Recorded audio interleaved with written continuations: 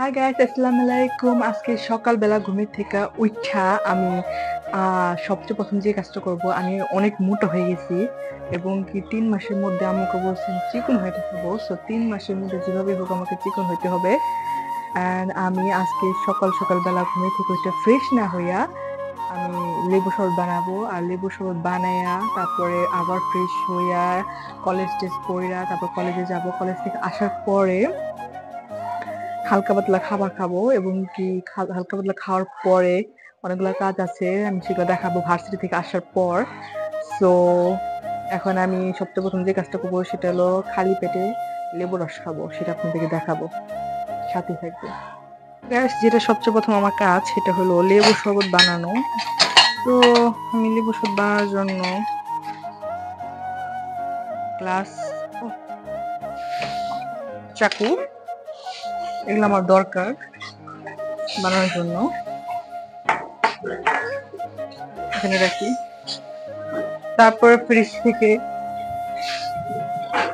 লেবু, আমুর জন্য বানাতে হবে। তো আমি এখান থেকে দুইটা একটা লেবু।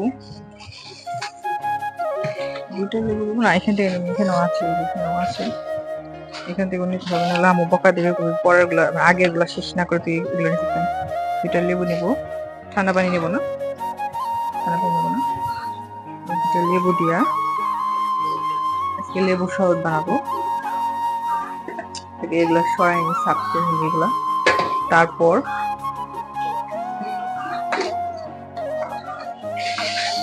অনেক মানুষ বলে যে চিকন মানুষ ভালো। আমি মনে করি চিকন মানুষ সুন্দর হেলদি থাকে ওরা। মোটা মানুষও ভালো খাওয়া দাওয়া করে ভালোই মোটা মোটা থাকে। কিন্তু আমার মনে হয় কি যে আমার আমার অনেক খারাপ দেখা যায়। তো আমি ভাবলাম যে, না, চিকন হইলে ভালো হবে, আমাকে সুন্দর দেখাবে। আমার ফ্রেন্ডরাও অনেক, সবাই চিকন। তো আমি ভাবলাম যে, ওরা চিকন হতে পারলে আমি চিকন হতে পারব না কেন? তো কাটতে পারছি না এভাবে। তো গাইস আমি লেবু কাটার পরে তারপর আপনাদেরকে দেখাবো। ঠিক আছে? সেভাবে তো থাকেন সাথে সাথেই থাকেন আমি ভিডিও কাট করছি, পরে দেখা হবে আপনাদের সাথে। লেবু শরবত খাওয়া শেষ, এবং কি আব্বু আম্মু করে দিছি লেবু শরবত আমিও খাইছে। তো এখানে দেখতে পাচ্ছি নিজে লেবু। সুলকা খাওয়া শেষ একদম। এখন আমি রেডি হব, ঘর গোছাবো, তারপর রেডি হব ভার্সিটিতে যাওয়ার জন্য। তারপর ভার্সিটিতে আসার পরে তারপর দেখা হচ্ছে। বাই সো গাইস আমি ভার্সিটি থেকে আসার পর দেখতেছি আম্মু কাটাকাটি করতেছি। এখানে পেজ কাটা রাখছি, এখানে আমরা দেখা যাচ্ছে। আম্মু অনেকগুলো পেজ কাটার পরে আমি আপনাদেরকে চমৎকার হচ্ছে, সেই চমৎকার রান্না হলো, এখানে আমার বোন পিঠা ভাজতেছে, তাও আবার আটা দিয়ে পিঠা বাঁচতেছে আর এখানে আমার আম্মু কি করছে, ভাত চড়াই দিচ্ছে যে এখানে দেখতে পাচ্ছেন যে ভাত চড়াই দিচ্ছে। আর এখানে ডাল রানবে আমার আম্মু, আমরা ইয়ের জন্য। এখানে দেখা যাচ্ছে নাইকেল নাইকেল দিয়ে আমার আম্মু পিঠা ভাজছে, এখানে আমরা দেখা যাচ্ছে পেজ কেটে রেখেছে। এবং কি আমার ছোট বোন খাইতেছে, বাঁচতেছে এবং কি খাইতেছে। পিঠা।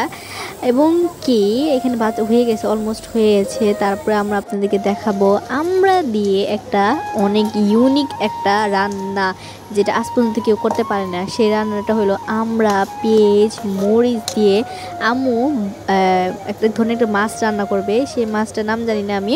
তারপর এখানে হলদি দিচ্ছে মরিচের ফাঁকে দিচ্ছে এখানে নানা করে ময় মশলা দিয়ে সেটা মাখিয়ে সেটাকে চরচরে করা হবে। আর বিশ্বাস করুন এই রান্নাটা এত মজা হয়েছে আমি আঙ্গুল চেটে খেয়েছি আমার। এখানে লবণ দিচ্ছে, এখানে অনেক লবণ দিয়ে আমার আম্মু হাত দিয়ে মাখাবে। তো এখানে দেখতে পাচ্ছেন আম্মু একদম হাত রেডি করে রাখছে, হাত ধুয়ে আসছে। ধুয়ে আসার পরে এখানে দিচ্ছে, কি এখানে তেল দিচ্ছে? তেল দেওয়ার পরে এটা হাত দিয়ে মাখাবে। মাখানোর পরে এটা চুলায় দেবে। চুলায় দেওয়ার পরে, এটা আমি জানি না, এটা কী মাছ? যদি আপনি কেউ জেনে থাকেন তাহলে কমেন্ট বক্সে বলবেন আমাকে, এটা কী মাছ? আমি জানি না এটা কী মাছ।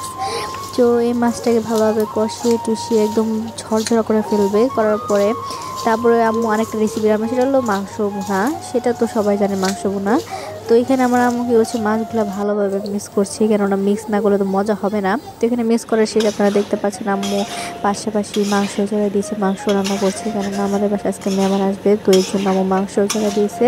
তো মাংস অলমোস্ট হয়ে গেছে, কিন্তু সরি গেছে বাকি ভিডিও করতে পারি